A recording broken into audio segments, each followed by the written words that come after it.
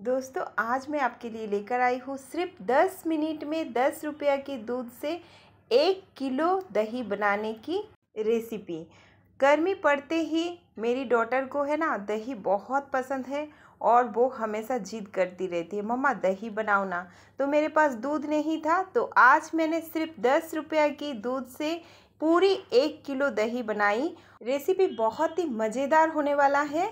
Video को last तक पूरा देखिए। एक भी स्टेप अगर स्किप करेंगे तो आपको समझ में नहीं आएगा। तो यहाँ पर मैंने एक कटोरी जो है पानी ले लिया है। अब ये पानी को क्या करना है? इसी कटोरी से हम सारी चीज़ को नापेंगे। तो जो जो मैं वीडियो में आपको बारीकी से समझा रही हूँ, वो स्टेप को आप फॉलो कीजिएगा। अब यहाँ पर हमने दस रुपये वाला मिल्क पाउडर की पैकेट भी ले लिया है। अब यहाँ पर हम पानी को गर्म कर लेंगे। तो गैस की फ्लेम को मीडियम पर रखा है और पानी को उतना तक हम गरम करेंगे, जैसे हम इसमें हाथ लगा सकते हैं। तो गुनगुना गरम जो है, पानी हो चुका है, फ्लेम को हमने ऑफ़ कर दिया है। और अभी यहाँ पर हमने दस रुपया वाला मिल्क पाउडर की जो पैकेट है, इसको हम कट करेंगे और इसको हम पानी के साथ मिला लेंगे। तो इस तरह से हम मिला लेंगे। इसमें कोई भी गुटली नहीं रहना चाहिए। अच्छे से मिल्क पाउडर को घोल लेना है। इस बात की ध्यान रखें। तो ये देखिए, मैंने घोल के तैयार कर लिया है। ये देखिए। अब हम इसको साइड में करते हैं। चलते हैं नेक्स्ट प्रोसेस में। तो यहाँ पर हमने तीन कटोरी दही के हिसाब से एक एक कटोरी के हिसाब से हमने टू टेबलस्पून जो है, शक्कर लिया है। तो टोटल जो है, तीन कटोरी के दही के हिसाब से छः टेबलस्पून जो है, हमने शक्कर डाला है कढ़ाई में। तो कढ़ाई को अच्छे से पहले गर्म कर लेना है। और फिर उसके बाद फ्लेम को रखना है एकदम से लो पर और इसमें हमें शक्कर को डाल देनी है। लो फ्लेम पर शक्कर को डाल के इसको कैरामिल बनाना है और लो फ्लेम पर अगर आप नहीं करते हैं तो क्या होगा? शक्कर जो है वो जल जाएगा और एक बहुत ही बैड स्मेल आएगा तो दही जो है हमारा टेस्टी बिल्कुल भी नहीं लगेगा। तो इस बात की ध्यान रखिए। तो यहाँ पर आप देख सकते हैं, टाइम भी लग रहा है। तो ये प्रोसेस को करने में लगभग पाँच से छः मिनट तक लग जाता है। तो एकदम से सबसे पहले कढ़ाई को आपको अच्छे से गर्म कर लेना है, उसके बाद फ्लेम को लो कर देना है, फिर इसमें शक्कर डालिएगा। तो अभी जो है चीनी मेल्ट होना शुरू हो गया है, आप देख सकते हैं। जैसे ही चीनी मेल्ट होना शुरू होगा तो इसमें कलर आना भी शुरू हो जाएगा। बार बार मैं बोल रही हूँ, ध्यान रखिए कि फ्लेम को आपको मीडियम या तो हाई पर करके ये प्रोसेस को नहीं करना है। धीमी आँच पर रख के ही ये प्रोसेस को कीजिए। तो देखिए, यहाँ पर चीनी जो है, पूरी तरह से मेल्ट हो चुका है और अच्छे से एक कलर भी आ चुका है। तो अब हम क्या करेंगे? जो कटोरी से हमने सारी चीज़ को नापने की बात किया था, उसी कटोरी से दो कटोरी जो है, इसमें पानी डालेंगे। पानी जो है नॉर्मल रूम टेम्परेचर का ही पानी हमने इस्तेमाल किया है। तो जैसे ही आप पानी डालिएगा ना तो इसमें क्या होगा, नीचे जो कैरमल हमने बनाया था, वो एकदम से कढ़ाई के ऊपर चिपक जाएगा। तो इसमें डरने की कोई ज़रूरत नहीं है, इसको लगातार आप चलाते रहिए और चलाते चलाते एक टाइम के बाद आप देखेंगे कि चीनी के साथ ये जो पानी है, ये मिक्स हो जाएगा और इसमें बहुत अच्छा एक कलर ऐड हो जाएगा। तो यहाँ पर आप देख सकते हैं अब जैसे ही ये चीनी के साथ पानी जो है मेल्ट हो जाएगा तो हम क्या करेंगे? इसको एक बार उबाल लेंगे हाई फ्लेम पर। तो अभी यहाँ पर धीमी आँच रखने की ज़रूरत नहीं है। तो जैसे ही एक उबाल आ जाएगा तो हम गैस की फ्लेम को बंद कर देंगे और इसको ना ठंडा होने के लिए हम छोड़ देंगे। अब हम चलते हैं थर्ड प्रोसेस में।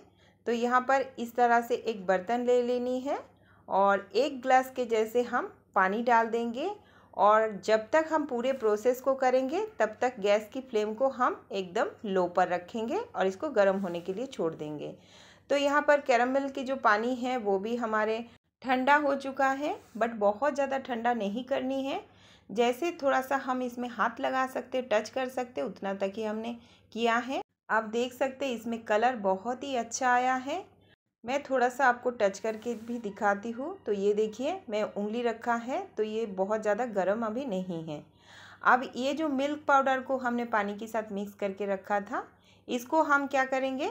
इसको हम इस कैरामल वाला जो पानी है, इसमें हम डाल देंगे। और ये दोनों को एक साथ हम मिक्स कर लेंगे। तो ये देखिए, पूरी प्रोसेस को फॉलो कीजिए, नहीं तो आपकी दही अच्छी नहीं बनेगी। अब इसमें थोड़ी सी फ्लेवर के लिए हमने इलायची पाउडर डाल दिया है। इससे दुकान की जैसे, दही जैसे बनती है ना, एक बहुत ही अच्छी फ्लेवर होती है। वैसे ही बनेगी।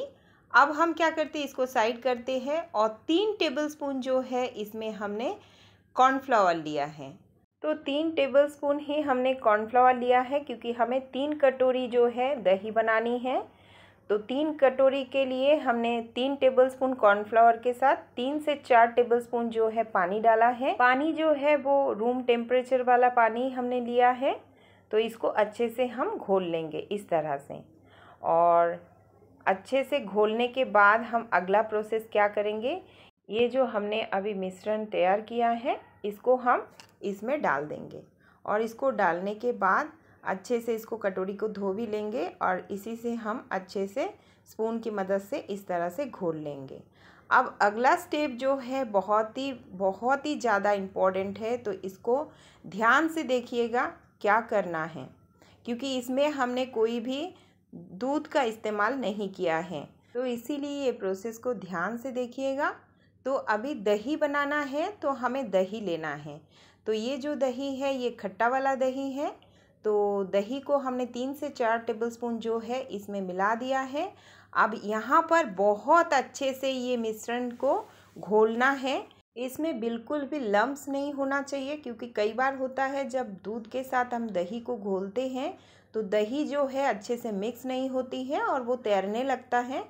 तो यहाँ पर हैंड ब्लेंड से मैंने इस तरह से अच्छे से मिक्स कर लिया है। तो इसी तरह आपको भी करना है।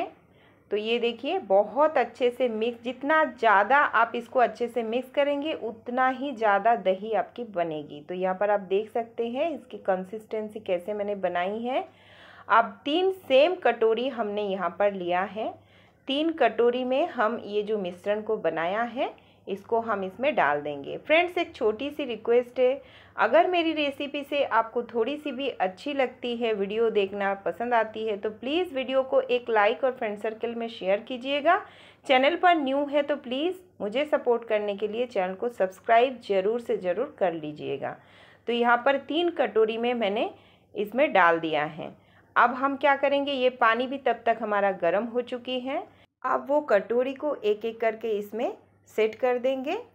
और जैसे मैंने आपको बताया था कि सिर्फ़ दस मिनट में हम इसको बनाएँगे तो ये जो प्रोसेस है, अभी हम धीमी आँच पर दस मिनट इसको इस तरह से दही को जमा लेंगे। तो यहाँ पर ध्यान रखने वाली बात है, ये जो हम कवर करेंगे तो इसकी जो होल दिख रहा है, इसको बंद नहीं होने देना है। अगर अंदर की स्टीम इससे भी निकल नहीं रहा है तो कवर को थोड़ा सा साइड करके रखना है। अभी दस मिनट हो चुका है, आपको दिखा रही हूँ, ऊपर थोड़ी थोड़ी पानी जो है हमारा दिख रहा है। तो अभी फिर से हम तीन से चार मिनट के जैसे इसको कवर कर देंगे। चार मिनट के बाद आप देखेंगे, ये दही पूरा सेट हो जाएगा। तो फिर हमने इसको ठंडा करके फ्रिज में आधा घंटा के लिए जमा लिया है। तो ये ठंडी ठंडी दही जो है हमारा बन के तैयार हो गया है।